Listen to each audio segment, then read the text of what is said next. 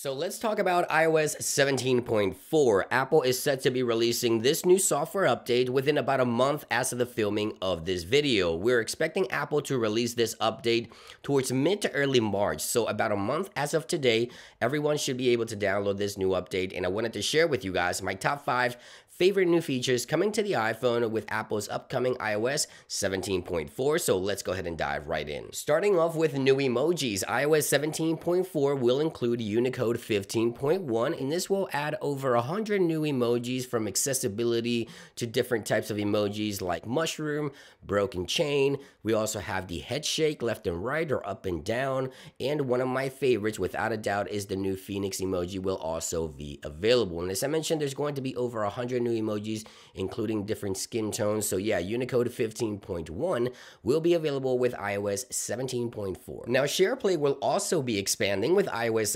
17.4. This new feature was first introduced with CarPlay for iOS, and it allows users to control the music with another device as long as you allow them to by scanning this QR code here. But SharePlay has now been expanded to HomePod and the Apple TV with tvOS. As you can see right here, you can go ahead and enjoy this new feature now with more Apple devices. Now, Apple also added some changes to the podcast application. You now have the live transcript feature available. So if you go into the podcast app here and you're listening to a podcast and you want the live transcript, you see this button here on the bottom left, just like Apple Music Lyrics. You can tap into that and then you get a live transcript of the podcast podcast that you're listening to. So those two new options I think you guys are going to really enjoy that are coming to the iPhone with iOS 17.4. Now Apple will also be expanding on stolen device protection security delay. So if we go into settings here and we jump into Face ID and passcodes, after you update to iOS 17.4,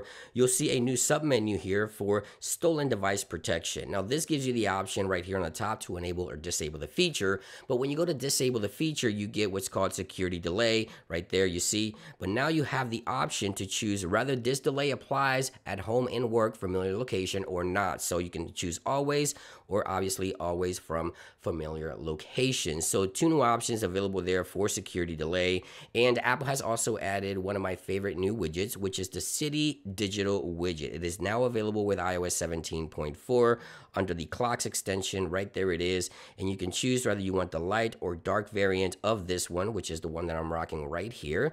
There it is. And this one is also available for standby. So let's go into standby here. let me show you what it looks like on standby. So let's go ahead and plug this iPhone to a power source and we should have standby kick in here in just a few seconds. And there it is.